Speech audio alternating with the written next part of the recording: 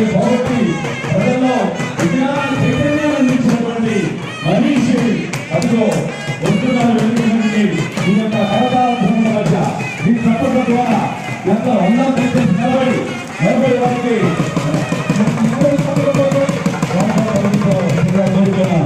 అదిగో ఆయన విగ్రహమే. మరి ధర్మం రాముడి విగ్రహాన్ని ధర్మంతో చూసినట్టుగా ఆయన నిజాయితీ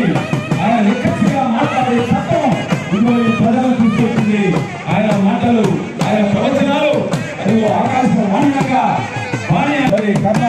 పదాల్ని బ్రహ్మాండంగా అందించినట్టుగా ప్రతి క్షణం ఆయన